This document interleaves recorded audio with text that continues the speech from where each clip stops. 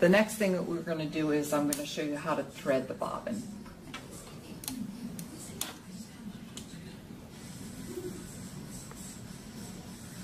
Now, when we're threading the bobbin, we have two, two sets of threads, the, a top thread and a lower thread.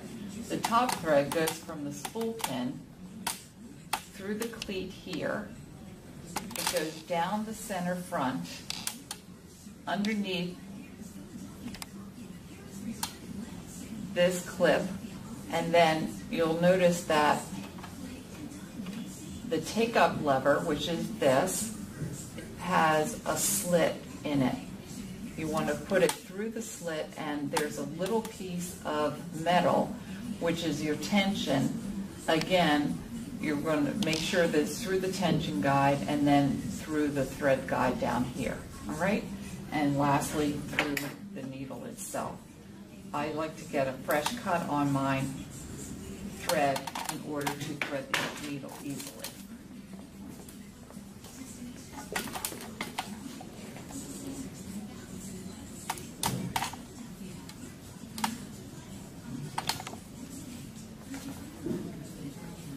Sometimes threading the needle is the hardest part.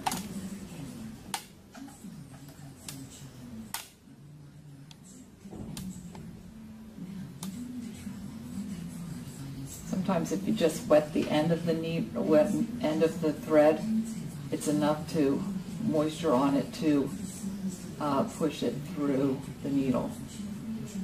And if that doesn't work, then try cutting it again.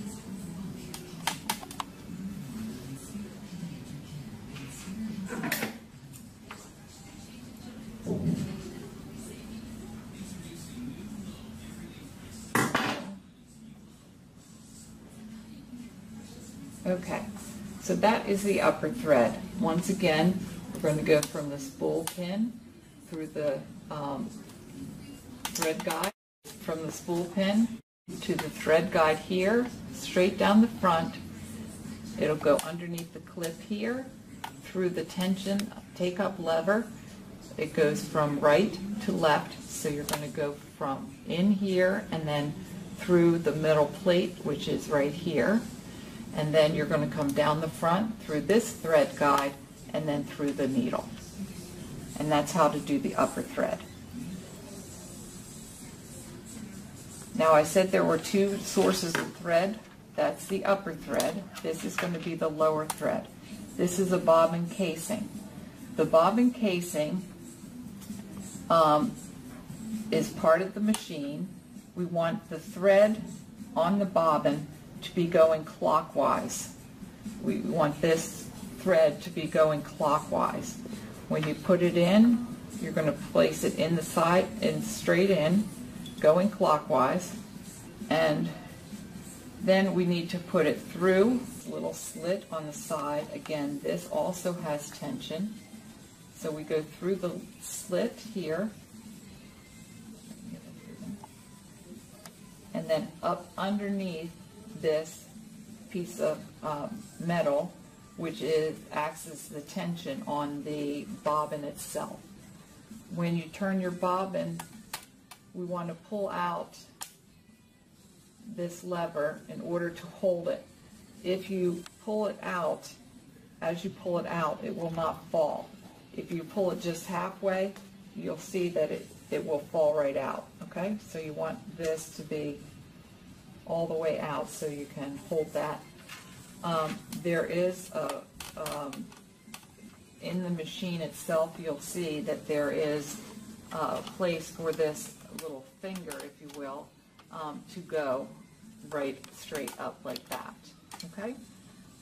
Um, then when you're ready, when this is all in and everything's set, what you want to do is hold your upper thread, turn your hand wheel again your hand wheel always is going to be turned towards you. So I'm going to turn it towards me. You'll see that the, the uh, bottom of the top thread is going to wrap around here.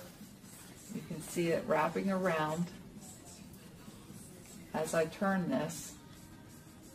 You can see the thread wrap around and once it's wrapped around, I can pull up my lower thread. It's a loop and I pull it through. And then I am all set, ready to sew. Now I took my presser foot off so that you could see the um, dog feed, which is what moves the fabric. I'm going to put my presser foot back on simply by lowering my presser foot and letting it engage in the foot. Whenever you're starting to sew, you want your you want your thread behind the machine. Okay? Both threads behind the machine.